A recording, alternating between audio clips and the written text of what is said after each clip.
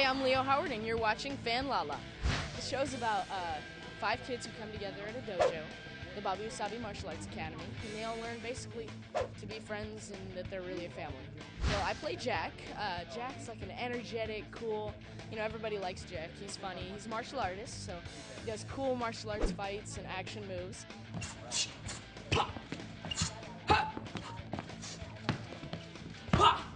Definitely the action.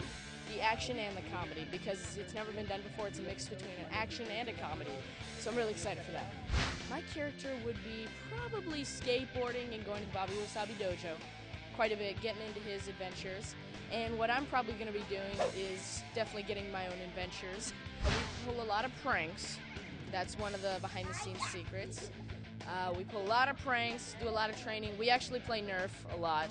So Jason will get Nerf gun, we'll get Nerf guns, and we'll fight basically right here. We fought here many times. So, hey, my name is Leo Howard, and make sure you check out Disney XD's Kickin' It.